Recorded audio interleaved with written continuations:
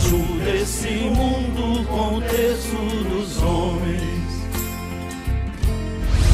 Queridos homens fiéis sempre do terço dos homens, vigor e paz para todos.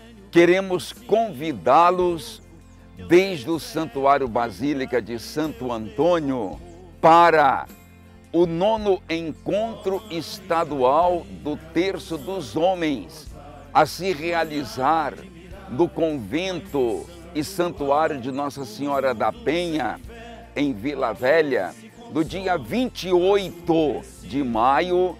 Este convite está sendo feito para todos os homens que já pertencem ao terço dos homens e os homens que gostariam de integrar o terço dos homens.